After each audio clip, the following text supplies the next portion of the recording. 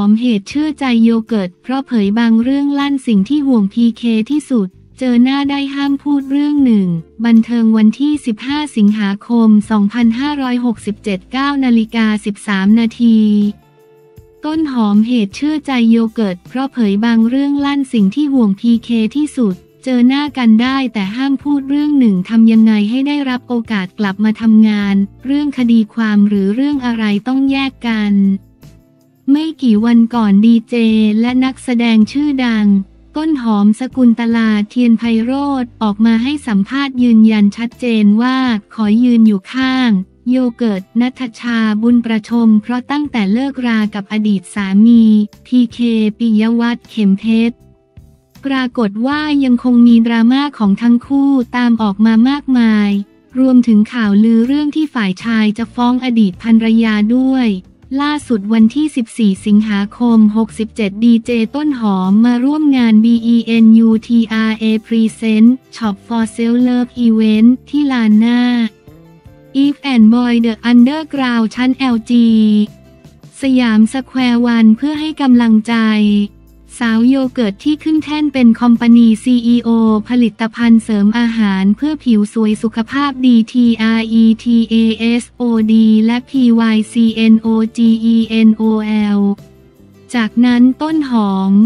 ได้ให้สัมภาษณ์ถึงเหตุผลว่าทำไมตนเองถึงต้องเลือกข้างอย่างชัดเจน พร้อมเผยสิ่งที่เป็นห่วงเกี่ยวกับพี่ชายคนสนิทอย่างพีเคที่สุดยืนยันเคารพรักและเจอหน้ากันได้เหมือนเดิม แค่อยากคุยเรื่องโยเกิร์ตเท่านั้นเองวันนี้ตั้งใจมาให้กำลังใจโยเกิร์ตโดยเฉพาะเลย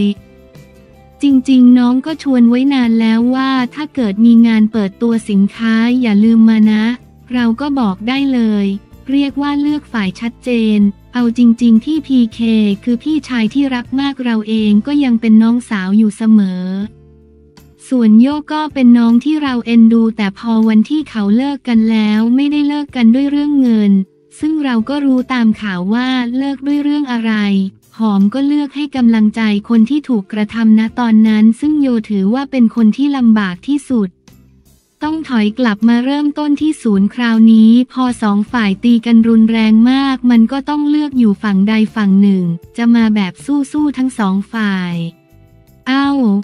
สู้กันก็คืออิบอายทั้งคู่เหรอ เราก็จะดูเหมือนนกสองหัวเมื่อเราเลือกให้กำลังใจฝั่งนี้แล้ว มันก็ไม่มีหน้าที่จะไปถามพี่พีเคว่าสบายดีไหม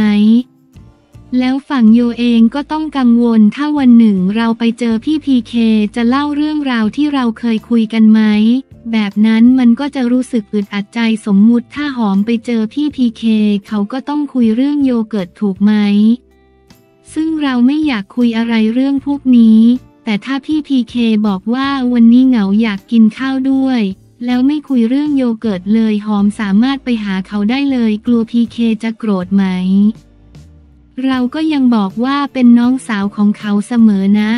ยังรักและปรารถนาดีสิ่งที่ห่วงและกังวลที่สุดคืออยากให้พี่พีเคกลับมาอยู่ในวงการ เรื่องคดีความหรือเรื่องอะไรต้องแยกกัน อันนี้หอมไม่เกี่ยวอยู่แล้ว แต่ทำยังไงมันมีโอกาสไหมที่พีเคจะได้รับโอกาสในการกลับมาทำงานอีกครั้งหนึ่งทำยังไงให้ภาพลักษณ์ของพี่เขากลับมาอีกครั้ง ราะหอมรู้สึกว่าพี่พีเคเป็นคนชอบทำงาน ทุกคนต้องมีงานมันถึงจะกลับมามีเงิน ยิ่งเราเข้าใจสถานการณ์การเงินเขาก็ยิ่งน่าห่วง เท่าที่รู้ตอนนี้พีเคถึงขั้นไม่มีเงินจริงไหม หอมไม่คิดว่าเขาโกหกคนเราไม่ทำงานก็ไม่มีเงินอยู่แล้ว มันก็เป็น way ที่ถูกต้องที่พีเคอาจจะมีสินทรัพย์ แต่เงินสดที่มันออกทุกวันทุกวันแล้วคนวางแผนอย่างเขาก็ต้องรู้สึกกังวลแล้ว ส่วนตัวรู้สึกว่าในวงการบันเทิงเราหาคนที่มีคุณภาพอย่างพี่พีเคยากมากนะ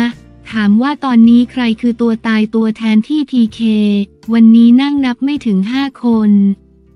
ฉะนั้นหอมรู้สึกว่านี่คือบุคลากรในวงการบันเทิงในการทำงานที่พีเคเก่งมาก แล้วมันก็น่าเสียดาย ถ้าเกิดว่าคนนี้จะไม่มีโอกาสในการทำงาน คิดว่าพีเคจะกลับมาได้ไหม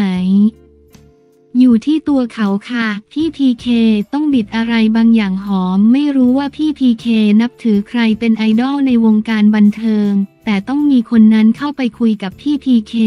แล้วบอกแนวทางว่าต้องทำยังไง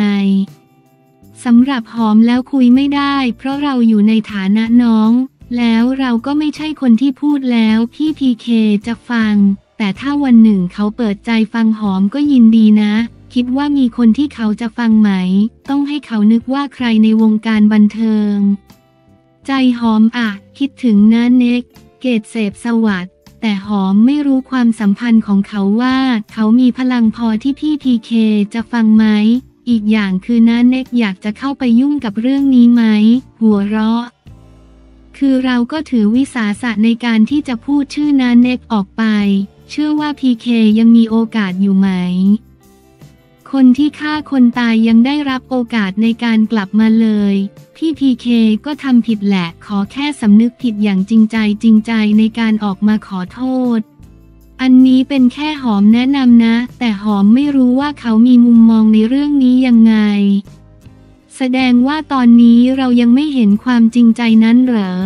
หอมไม่ได้เข้าไปสื่อสารกับเขาค่ะ อันนี้ก็เลยตอบไม่ได้การที่เราเลือกฝั่งชัดเจนอย่างนี้ กลัวจะมีคนเข้ามาดราม่าไหม คนด่าเหรอด่ากูเรื่องอะไร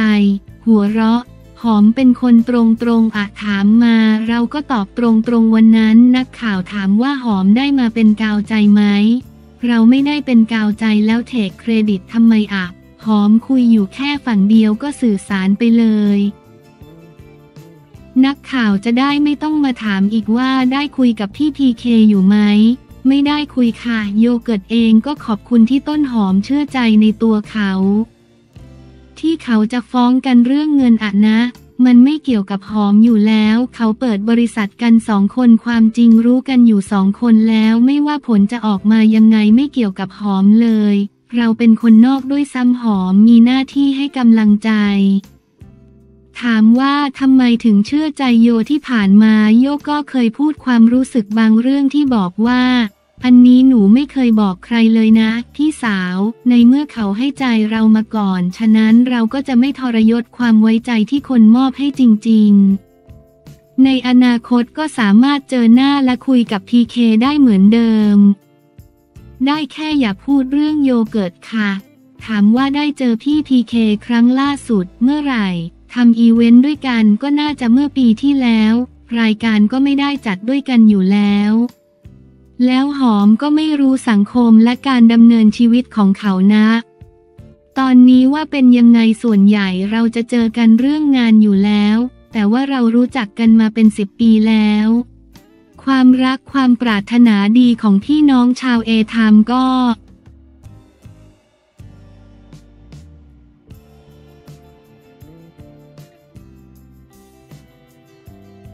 ชาวบ้านเคว้งเลย ปชปถามรัฐบาลดิจิทัลวอลเล็ตไปต่อหรือไม่ ประชาชนหวั่นไม่ได้เงินการเมืองวันที่ 15 สิงหาคม 2567 12นาฬิกา35 นาทีนปชป เผยประชาชนเคว้งหลัง เศรษฐา หลุดนายกรัฐมนตรีถามรัฐบาลเดินหน้าโครงการดิจิทัลวอลเล็ตต่อหรือไม่ วันนอ แจ้งวาระกระทู้ตกตามข้อบังคับหลังคณะรัฐมนตรีพ้นจากตำแหน่งเมื่อเวลา 10นาฬิกา30 นาที วันที่ 15 สิงหาคม 2567 ที่รัฐสภาในการประชุมสภาผู้แทนราษฎรมีนายวันมูฮัมหมัดนอมทา ประธานสภาเป็นประธานการประชุมโดยเปิดให้สมาชิกหารือปัญหาความเดือดร้อนในพื้นที่ โดยนายร่มธรรมคำนุรักษ์สอสอพัทลุง พักประชาธิปัตย์หารือว่าจากการที่นายเศรษฐาทวีสินพ้นจากตำแหน่งนายกรัฐมนตรีและได้ให้สัมภาษณ์ระบุไม่แน่ใจว่าโครงการเติมเงิน 10,000 บาท ดิจิทัลวอลเล็ตจะไปต่อหรือไม่ ส่งผลให้ประชาชนที่ได้ลงทะเบียนเพื่อรอรับสิทธิ์ไปแล้ว ตลอดจนประชาชนบางส่วนที่กำลังจะลงทะเบียน รู้สึกเคว้งคว้างและกังวลว่าจะยังได้รับเงินดิจิทัลวอลเล็ต10,000 บาท อยู่อีกหรือไม่ รวมถึงข้อมูลของประชาชนที่ได้ลงทะเบียนไปแล้วจะปลอดภัยหรือไม่ รัฐบาลจะมีมาตรการกระตุ้นเศรษฐกิจอื่น ๆ หรือไม่ จึงขอสอบถามไปยังนายภูมิธรรมเวชยชัยรักษาการรองนายกรัฐมนตรีและรัฐมนตรีว่าการกระทรวงพาณิชย์ในฐานะรักษาการนายกรัฐมนตรี ว่าโครงการดังกล่าวจะเดินหน้าต่อไปอย่างไร เพื่อให้เกิดความมั่นใจต่อประชาชนทั้งนี้ภายหลังการหารือของสสแล้วในวันมูฮัมหมัดนอ แจ้งให้ที่ประชุมทราบถึงคำวินิจฉัยของสารรัฐธรรมนูญที่วินิจฉัยให้ความเป็นนายกรัฐมนตรีของนายเศรษฐาทวีสินสิ้นสุดลงเฉพาะตัวทำให้คณะรัฐมนตรี ต้องพ้นจากตำแหน่งทั้งคณะไปด้วย ดังนั้นเมื่อคณะรัฐมนตรีทั้งคณะต้องพ้นจากตำแหน่ง กระทู้ถามจึงตกไปตามข้อบังคับที่ 155 3. การประชุมวันนี้จึงไม่มีกระทู้ถาม อ่านข่าว ชาวโคราชหวันไม่ได้เงินดิจิทัลวอลเล็ตแนะนายกรัฐมนตรีคนใหม่แจกเป็นเงินสดดีกว่าอ่านข่าว จุลพันธ์ยันนำดิจิทัลวอลเล็ตร่วมถกรัฐบาลชุดใหม่เผยต้องให้ให้เกียรตินายกรัฐมนตรีคนใหม่